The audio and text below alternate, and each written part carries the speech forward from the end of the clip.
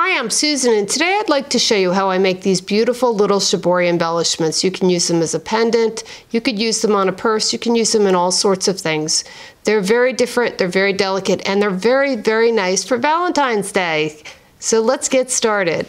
I'm starting out with just a piece of paper that I've folded in half and made it into a heart. And now I'm going to basically just trace that heart out onto some stiff felt. Now there's Lacy's Stiff Stuff. There's Target has like a stack of felt that actually works pretty good. There's lots of different kinds of stiff felt or stiff fabric you can use. Um, interfacing, the stiffest one you can get at like a fabric store will do the same thing. Anything that's got some body to it that you can sew through. And all I'm doing is tracing around my heart so that I have a pattern and I like to cut this out and make sure there's no points or sharp edges because the thread does not like those and will catch onto it.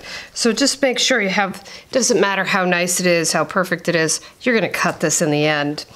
Now I have some shibori ribbon that I've dyed and I did not use regular dye with this. I used calligraphy ink that I got off of Wish and it gave this awesome bright color. Now, if you were using this on the skin, I don't know what's in this ink, so I can't really say that I recommend it if you were using it for clothing. But if you're using it just for something like this, where this piece will never touch the skin because it's always covered, you're fine. I don't think, see any issue with it. If we're, we're against the body, I don't know what's in it because it's got metallic kind of a shine to it and I wouldn't want to recommend something that would be toxic. So I have my thread already through my needle. I'm using Nymo thread. I'm using this dark blue only for photographic purposes. Otherwise, I would use something light like this gray that you barely can see even. Let me bring it over here. You can barely even see that on my mat. So that's the reason I'm not using it. Um, I normally would use any color that is closest to the ribbon color. It's just easier. So I'm going to take my fabric again and I'm going to fold the one corner in where the, where the ribbon already has a pleat. And I'm going to fold the other one down because I want no free edges.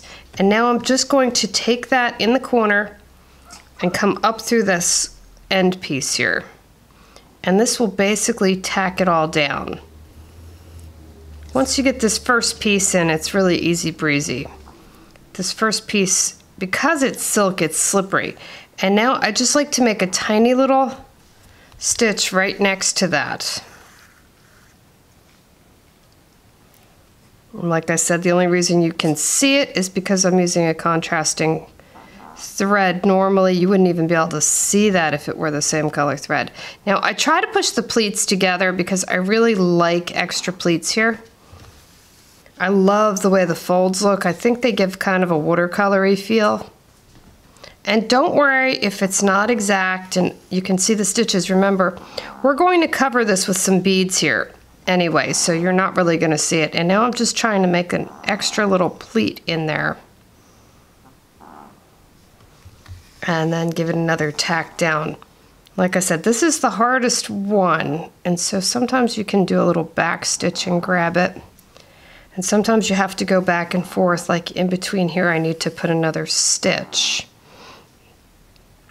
And so I'm basically making sure I just tighten this all up. Now I will tighten it up a little bit more when I get the beads on top of it. But just getting the initial laying down the silk can be very tricky because it's very slippery. And I have done this with pins and I found that the pins don't help, it just keeps sliding under the pins. Now this edge I want tucked under, so I'm just going to create another pleat there and another stitch to hold that pleat down. Now, it has nothing to do with that this is a heart shape. Any shape I do, I usually for some reason like to start at one of the points. So I would either start at that point or this point. And if there isn't a point, then I just start randomly. But I find it's easier once I've got that one side tacked down to then start to cross over and tack down the other edge. It just goes faster for me. I find if I try to then move the fabric around there. You can. There's no rhyme or reason to this. You don't have to do it my way. I'm just saying I have found this easier. And so I just tuck that extra little pleat underneath and keep tacking it as I go around. So I am going to continue around this heart, tacking it all the way around. And then I will come back in a second and show you what that looks like because watching me sew this whole thing is very, very boring and I don't know how to sing songs and people pay me not to sing, so might be better. But you can see how I've just tacked that and you can see all my stitches, but like I said, I'll hide them. So I will be back in a second and voila. So I'm back and I've gone all around and this is why you don't want to watch me do it because you can see you you really can't tell where I'm working. So I've tucked under the end, under this end where I started. Let me pull it closer. So this end now is underneath this end and that will help cover this free edge up and I'm going to take the opposite end and fold it over and I am just literally going to scrunch it. I kind of really, like I said, I love these little wrinkles. I love all of the flow that the wrinkles give. So I am just going to tack this guy in the middle here. Now he's probably going to get covered up. Now you could go the other direction. you really can play with this and decide which colors is it you prefer? Do you like the more yellowy, peachy colors? Do you like the more purpley blue colors? Because those are the ones that you pull over. I kind of like the whole darn mix. And so this is where you really need to play with it. And if you try to pin this, everybody that's screaming right now, why didn't she pin it? Why isn't she pinning it? This piece is so darn small that you keep poking yourself on the pins. So it really is easier to just tack it as you go. So I'm just pushing it down in the middle and I'm just tacking these little folds and you can pretty much see what I'm doing because I'm working with the worst color thread I could just to show you. So I will have to be very careful that my stitches aren't too big or you will really see them. And see right in the middle here, I want to take one of these folds and I want to create another little fold in the middle. So I'm just going to go up through there. Now some people like to stuff these with cotton if you wanted it more dimensional. That's not really my cup of tea, but it depends what you're using it for. You could take a cotton ball and stuff it in here. And now I'm just going to squinch down and like I said, it gets a little tricky because it slides in there. But I am just going to grab the end of a pleat and try to tack it down onto another one. And you just basically keep going back and forth over all these little pleats until you get it tacked down. It's not very difficult. It just takes a little patience and see, I like these folds to be more together up here so I get more dimension. And so I just keep going back and forth in between all these little pleats and folds and creating this texture is really what I'm doing. And rather than just having one big piece, I try to make a little squiggle or a little crimp out of it. So you're basically kind of using the pleats almost as a texture to create a design. And it's these shadows and the highlights in all of these folds and pleats that really creates the beauty in this.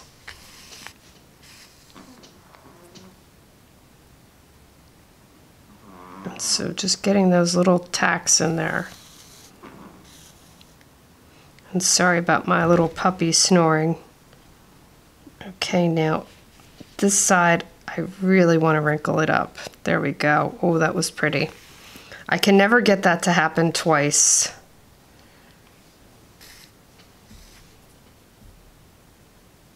So I'm just tacking this in and I will just go around and keep tacking and tacking probably for the next five or 10 minutes. So I will come back after I get this tacked in and show you how it looks. So I've got it all tacked down and you can see how nice it is. It's not perfectly tacked down. I want to show you the side of it so you can see somehow there's some there's some dimension to it and that will tighten up as we get the flowers and the other things on it so it doesn't have to be really really tight until when you're adding your beads and stuff but to edge the piece which let me show you another one that I've already edged with my crystals the crystals that are around the edge here with the seed beads are what we're doing first. And I have some tiny crystals here. I'm starting at the bottom. Doesn't matter where you start. I just happen to have ended up with my thread around this area. So I thought I'd start with this area. And I'm going to add four beads. I have size 11 seed beads and these must be about a two millimeter crystal. And I like to add four beads at a time and edge this. So I'm just going to come up closer so you can see. And I basically just look at where the beads end and that's where I go down. And of course the thread does this to me every time I'm on film because I'm doing it in the air because I want to show you how small these beads are. You see, that's a quarter. Just like the size of my heart here, it's not, it's maybe two quarters. It's not that big. So when you see the piece on a 52 inch TV and you think I've got this giant heart, it's tiny. And that's why I struggle so much getting it close. And these seed beads are the size of a poppy seed, just to give you a dimensional size. So I'm going up through the middle of these beads and I'm going to go back up through the crystal and the seed bead. And that is basically what I'm going to do to outline this entire pendant. So I will add a crystal, a seed bead, a crystal, and a seed bead. And I am just going to take that and once again go down at the end where they end up.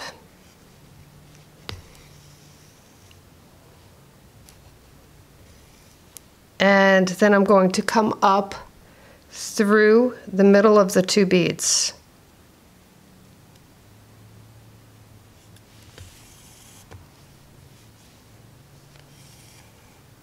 And then I'm going to go through the other two beads. That's all I'm going to do, and I'm going to continue around the entire heart, and then I will come back. So I've finished up adding all of the little crystals around, and now is the tricky part. Now you could have done this before, you could have trimmed off the felt before you put the crystals. Um, either way, you got to be careful that you don't cut your silk or your stitches. If you just take your time, it's usually pretty good. It's only if I get one little thread that's hanging in the edge there, it's tricky, but just be patient. It only takes a second to do this. And for all the time it took to sew it down, it's worth taking the extra second to pay attention. And so you're just basically cutting away at that thread. Now, if you have darker um, shibori ribbon, this white will definitely show. And so if you don't have colored felt, don't worry about it. There's alternatives. I like to take a Sharpie marker and I have a pink one here. You could do different colors wherever you have different colors around the edge. I don't think it's really worth the effort but if it makes you happy, it's worth it. And so I just basically color that little bit of felt on the edge. So if it does happen to stick out through my threads, you won't even notice it. Now, this is when I start to arrange my flowers or whatever beads I'm going to put on here. And I have a little dish of beads. Like I said, let me show you how small these beads are. These are really tiny, tiny little flowers. And so it's just a matter of picking and arranging. Now, most people would have picked these pale pinks, and I don't particularly care for that. I think they blend in too much and you won't even see them. So these darker blues and darker purples are more my cup of tea here. I think they make more contrast. They make even more contrast over the orange side. I think I like them better there. And so, yep, even the purple ones kind of blends. He's not that big of a deal. He may look better over here. But I'm feeling more these turquoisey, oops, I grabbed the wrong one. These turquoisey darker colors will probably give me a better contrast. Now, how do I sew these on? I just use these little 15s to hold them on. So I use them in the center of the flowers here. Let me get a little closer so you can see it better. So I use one to three. I never use two. Um, flowers always have odd numbers and they always look better in the middle if you have three beads or one bead. So that's my trick. If I have the really tiny, teeny ones like this, I use the one and this one I used the three just to give you an idea of what I'm doing here. And so all I'm going to do is start to sew my flowers on. I have to just decide which way I want to put them. I'm thinking, hmm, I like the purple on the orange. It's a nice contrast. So we're going to just start with the purple and go from there. And this is basically how I work. I don't really think about it very long. I just start doing it. And this will start to tack down some of that shibori that is sticking up and kind of bulky and in the way. And so I'm just going to basically go back and forth, threading through my flowers. Let me move my scissor. And it gets a little tricky when you're coming up the next time trying to find that hole. So you have to wiggle that needle around a few times. But it does make a difference when you put the three in the larger flower.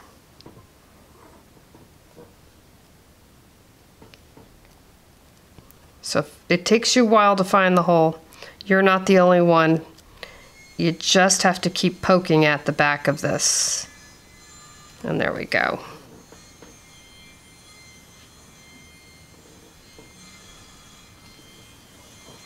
Now remember, I have some pearls and some other beads that I'm going to add, so there will be a spray over this way. So when I'm thinking about where I'm going to put the next flower, I always want to take that into consideration. So I'm going to add this tiny little blue and green flower. And most of you I know would never make a blue and green flower, but I like the contrast. I like the unexpected. It's not always fun to be predictable. And with these tiny ones, I mean, these are really tiny when you look at how small they are next to my fingernail. They're probably about four or five millimeters. And so most people think with polymer clay you can only make these giant, big, chunky beads. You can make really tiny little beads. It's just if you have the patience.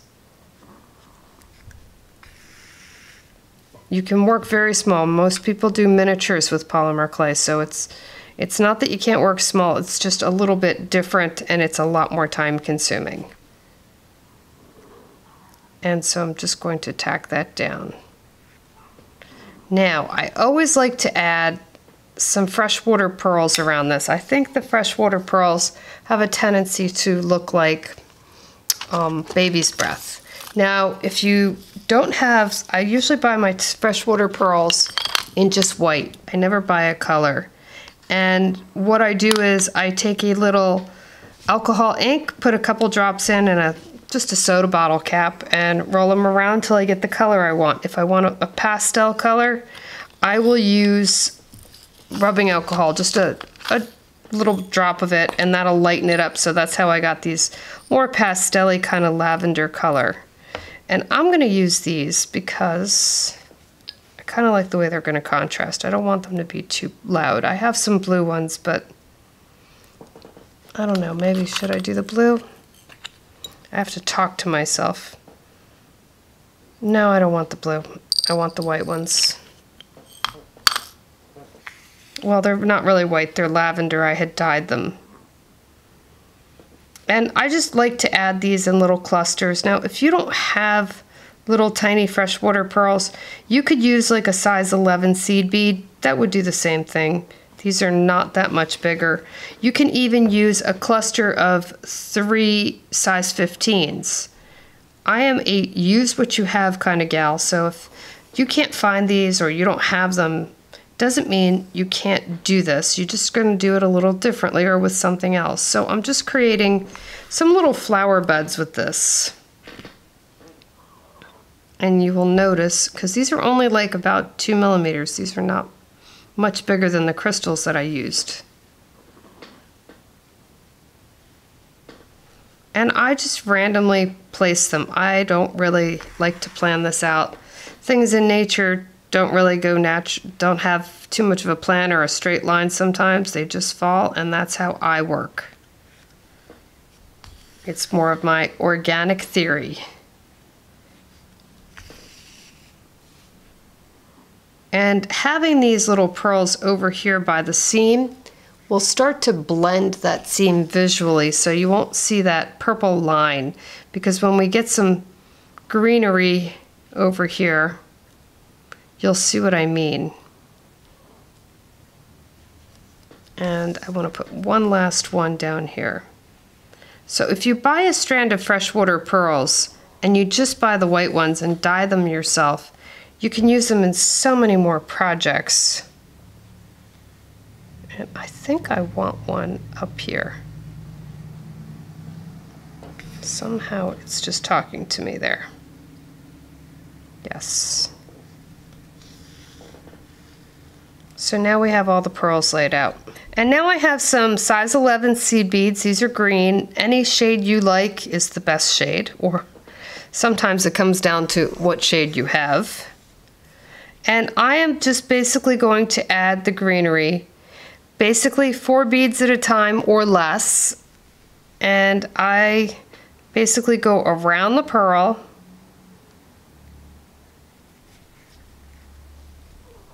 and let me come closer. So I'm right next to the pearl there. And I'm going to come up right where I really want this to end because see it had a tendency to go over that way well I am basically going to grab the thread from underneath and this will pull the thread over and now I'm going to add my other two beads that will go on the other side of the pearl and make it look like a flower bud.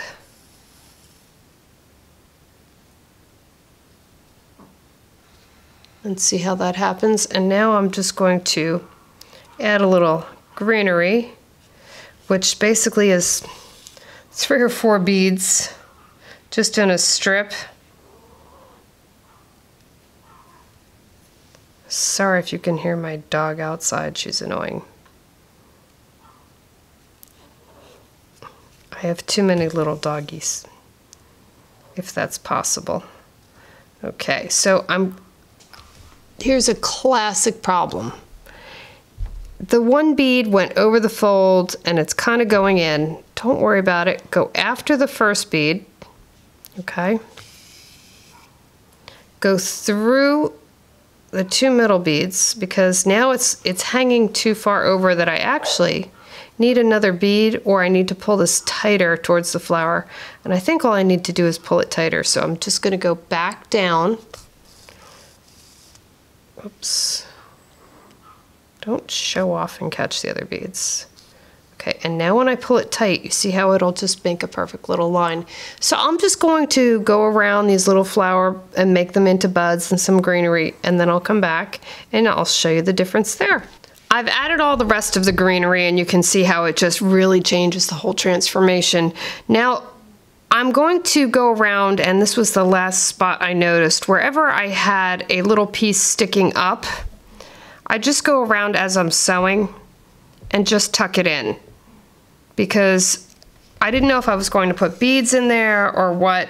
And sometimes I like to take the tucks and fold them different ways just so that I can get the beads to go in them. But I like to make sure everything's down nice and tight so nothing's lifting or tearing. And silk is very very delicate so I don't want anything sticking up that would grab and get pulled on. Now I'm going to add this little marguerite here. You don't have to, but you know, a little extra sparkle. I get these off of eBay actually. They're really inexpensive. This is like, I think a four or five, probably a five millimeter. It's pretty tiny, but they're really beautiful. They're not Swarovski. They're just some off brand that I found. And I'll put the link below for one of the colors. They come in all different colors. But I was surprised at how close they look to the Swarovski marguerites. And if you do like to add a little rhinestoney look and color to your embroidery pieces, these marguerites are really beautiful. And the Swarovski ones are very expensive. And these were like one tenth of the price. So I'm going to add some little um, gold 15s. I think these kind of give like a look of baby's breath. You don't have to add this. This is just what I do. And you could use silver too, but the gold shows up better on camera. So I'm just going to tuck them in between the leaves and things and it will add the final little bits of detail. It also will help because I've used this darker color thread. I'm going to go over my stitches that just won't disappear. And the easiest way to hide those is with a little bead. So I'm just going to continue adding that and I will come back and then we can attach the backing. I've finished adding all of those little 15s just to give a little extra sparkle. I just kind of like the way that brings things out around the flowers. But if you prefer to put little lines or waves or whatever, this is your design, do it your way. And now I'm just going to back the heart. Now, most people would say, just take this pattern and put it on the back. Well, no, it's actually grown a little bit since we've added the beads and stuff to the edge because here you can see a previous one that I've cut and it's just a little bit short. So learn from my mistakes. that didn't work for me either. The logical idea just didn't work. I forget that it grows as I'm doing it. Now this is a piece of ultra suede. It was an old coat that I bought off of eBay that I cut up. Um, it was a nice color blue and it was inexpensive, so I just cut it up and reused it. And I'm just going to take a Sharpie marker and go around this just so that you can see really well. A pen would work the same. And this will just give me that perfect little spot. I would use normally this pale pink suede for the backing because I think it goes better, but I've been using this dark teal thread so you could see better and that's not gonna go really well with the pink. So this teal will look pretty on the back. This It's like a bright electric blue, a beautiful 80s blue. And so I'm just going to cut this out and then I'm going to take some E6000. Now, you don't necessarily need to use the glue, but it's a help. So if you happen to have it, use it, it'll help you. If you don't have it, it's hard to keep it straight on here, but I've done it without the glue, so it's not impossible.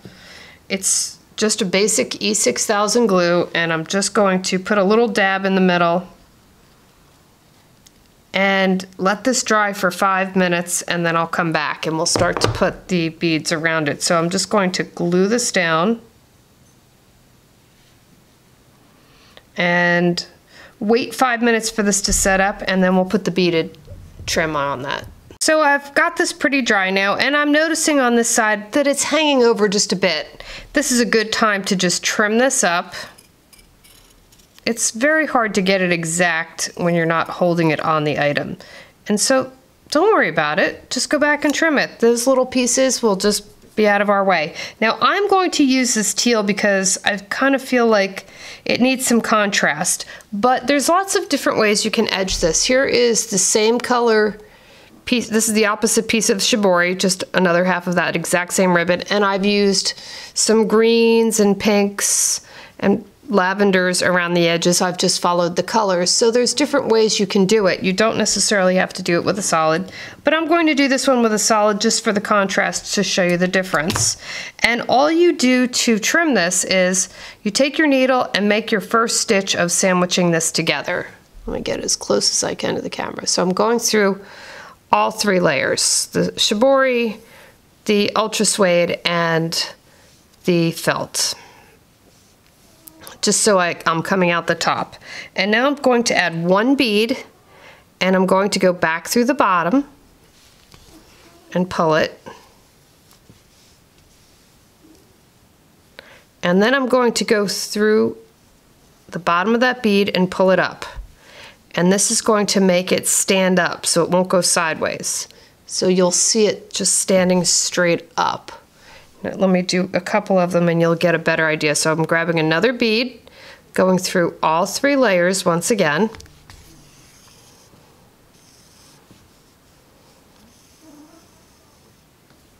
And then I'm going back through the bottom to the top of the bead. And what this does is it makes these beads stand up side by side next to each other and just creates this beautiful little sandwiched edging so you don't even see that um, felt in the center. It just gets lost in the middle. And you just get this beautiful edge of beads. Let me do one more and then I'll come and show you closer so you can just see that edge. Of course, the thread is fighting with me because I'm in the air about eight inches up as close as I can get to the camera.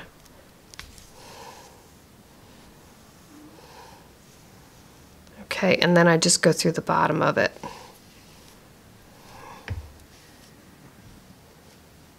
And you can see how it's starting to give that beautiful blue trim. So I'm going to finish, continue going around the entire heart and I'll come back and show you. So I finished up adding the beads on the edging and you can see what a difference it makes. You don't even see the felt. You don't even see that it was white or whatever color it was. So whatever you have, you can pretty much work with because the beads will cover it up. Now I have left my thread on the back here. If I decided to add a pin back to this, I could sew that on easily then or if I were going to continue on and put a necklace coming off the sides of it, I can work through that. The other thing you can do is add a bale to it, which I will show you in a minute to a different one because I wanted to put it on a chain. And that's a different look. So there's so many things you can do with these. It's just whatever you want to use them on. So let me come back and show you the other one and how to put the bale on it. So here's a previous heart that I made and I wanted to add a bale to it so I could add it to this chain. So in order to put the bale on it, I am just going to run my needle. I have a knot on the end of my thread. I've just got a piece of thread. Let me move this out of the way. Oops, there goes my beads. And I am just going to use a size 11 bead to start with. Okay, let me just go through that one more time. You know I like to put a locking stitch. Always good to have an extra stitch in there. Can never hurt. So I'm going to just figure out how many size 11s I need to go around this chain. I'm going to call it, I don't really know what else to call it. And I am going to, at the top of that, add a size 6 bead because it has a large hole in it. It's going to make quite a few passes very easily through the bead. And what I like to do is take this and let's go, oops, I've got it latched. Be easier if I unlatch it. Okay, so if we go halfway around the chain, that's pretty much where we need to be. So hanging wise, you have to figure out how much is this going to hang around the chain because you've got the top of the heart that you don't want to stick up and hit that cord. It'll look kind of odd. It would be better if it hung a little bit lower. So for it to hang lower, I need to add about three more beads. And these are things that you unfortunately have to think about ahead of time because once you add those beads, it gets harder to add them in the end. So I'm going to add my large size 6 bead at the top and that will be the middle. And I'm thinking that's probably a nice place to hang it. And so now what I'm going to do is basically just count how many beads I have already on there and that's what I'm going to add to the other side. 6, 8, 10, 12, 14, 16. Okay, so I have 16 beads and so I just have to add 16 more and go around that.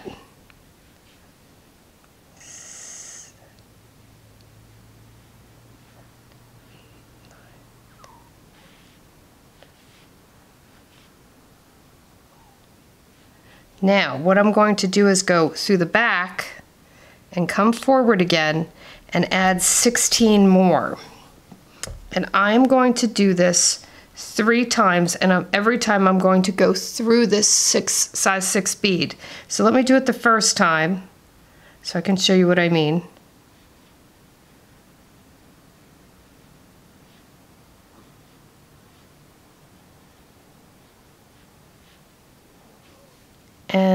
This is going to bulk up this bale so it doesn't look so frail.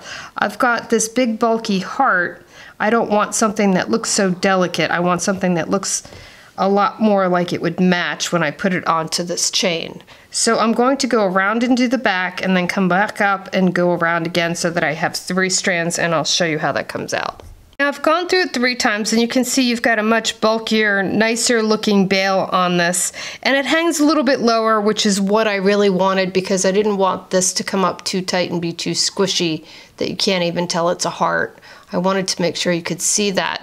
Now I've gone through these threads, the three threads, another time to reinforce them and I'm just going to tie off in the back here and the way I'm going to tie off is basically I'm just going to do a half hitch knot a couple times around and so that means I make a loop and then I go through the loop twice and then just tie it and I will do that one more time and then I will just cut it and that's all you have to do to just seal this all off and it's perfect. It's not a very heavy pendant anyway. Shibori basically just is the weight of the beads, which is not much because the felt doesn't weigh much. And of course that knot doesn't want to give me a hard time because I'm on camera. There we go. And that's all there is to it and just snip it off. And for show and tell, my favorite part, this is just a simple ribbon type of necklace that I buy these off of eBay. They're great if you just like to make some shibori pendants, and it's a pretty way to display them with the shibori really being the show off of the piece. I want to bring this a little bit closer so you can see better. And this one I outlined with just the same color crystal and the same color size 11 bead, which I thought was enough going on since there was so much color change going on in the shibori right here here. Sometimes I like to do a color change around the edge too, and sometimes I like to just leave it solid. Depends on what the color mixes are. And then I have another one, which I have done just a beaded chain on both sides of it with some polymer clay beads. And let me pull it up closer so you can see better.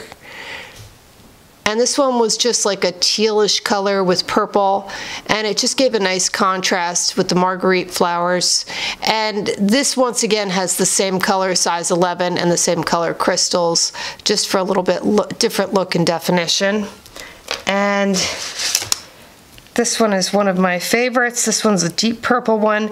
And this is tubular netting that I've done on this. If you want to know how to do tubular netting, Beading for Perfectionists, I will put the link down below, has a fabulous tutorial on how to do tubular netting, so there's no point in me doing it also.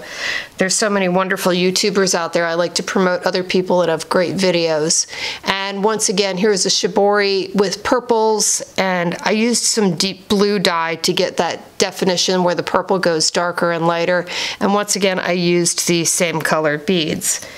Is the pink one, which I really love this one, and it's just got the pink shibori beads that I've made to match and some flowers on it. I like to do some longer fringe just to switch it up. And I want to bring this up close so you can see. Now this one, I did do different colors of beads around the edge. I did the same color crystals, and then I switched up the color on the size 11s just to give it a little bit of a change. So you can see that side is green, and this side's a lighter pink and a darker pink and a darker pink over here, switching back to the green, just to give a little bit of a different look. So there's different ways you can switch it up, and I'd love to show you that. And this one I think is my favorite one. This one is basically a freeform necklace, which means there is no rhyme or reason to how I put things in here. I put a lentil bead, an embossed lentil on here.